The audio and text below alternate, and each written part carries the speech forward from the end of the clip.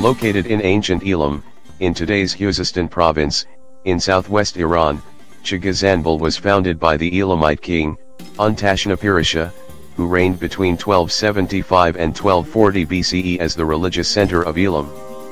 The principal element of this complex is an enormous ziggurat, or step pyramidal monument, dedicated to the Elamite divinities. It is the largest and best preserved ziggurat outside of Mesopotamia. The archaeological site is an exceptional expression of the culture, beliefs, and ritual traditions of one of the oldest indigenous peoples of Iran.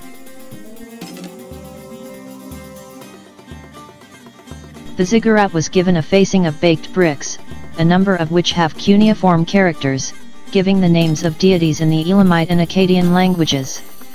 The quote-unquote sacred city for the king's residence, was never completed and only a few priests lived there, until it was destroyed by the Assyrian king, Ashur-bani-pal about 640 BCE.